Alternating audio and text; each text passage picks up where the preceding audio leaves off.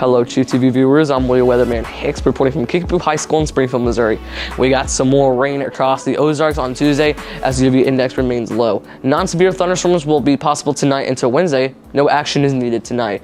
Here's your quick outlook for portions of much cooler temperatures of this morning. You can see that we got temperatures in the mid 30s to the upper 40s, including 40 for Joplin, 38 for Farmington, Jefferson City, and Springfield, 43 for Kansas City, and 43 for St. Louis. Take care to cover sensitive vegetation and protect early crops and buds. Here is your high and low temperature record forecast along with the timing of sunrise and sunset. We can see we got high records today around 89 degrees, which occurred in 1963, and the normal lows around 29 degrees, which occurred in 2021. The record high for tomorrow is 88 degrees, which occurred in 1989, and the normal low is 29 degrees, which occurred in 1956. Record high for Wednesday and Thursday is 85 to 86 degrees, which occurred in 1984 and 1989, and the normal low is 29 to 28 degrees, which occurred in 1910.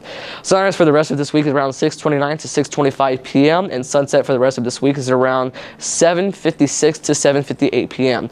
Here's your forecast as of today through Thursday.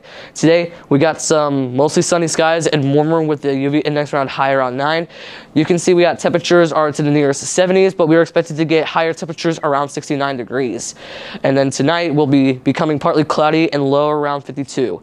Tuesday, a couple of showers in the morning, otherwise considerable cloudiness with highs around 67 degrees with a chance of rain of 85%. And then Tuesday night, we got some partly cloudy skies with lows around 44 degrees. Wednesday, we'll have some times in clouds and sun with highs around 69 degrees. Wednesday night, partly cloudy with lows around 47 degrees. And lastly, on Thursday, we have some mostly cloudy skies with highs around 67 degrees. Southeast winds are around 10 to 15 miles per hour with gusts up to 25 to 30 miles per hour. And then Thursday night, cloudy with a chance of uh, a passing shower late along with lows around 58 degrees. The chance of rain is 55%. Make sure to be up to date with your phone by downloading the AccuWeather app for the latest weather updates along with the latest statements of watches and warnings. So be sure to check the forecast for changing weather conditions. Here are the current weather observations on the radar and as you can see, we got some no chances of rain as well as no severe weather conditions right now. Here is your weather joke of the day. Why is the sun so smart? It has over 5,000 degrees. I hope I got you laughing there because the sun might have some smarter ways of taking over the weather than thunderstorms and snow. And furthermore, it doesn't need to go to college, so it might have more than 5,000 degrees, like a billion degrees or something since it has the power of being smart.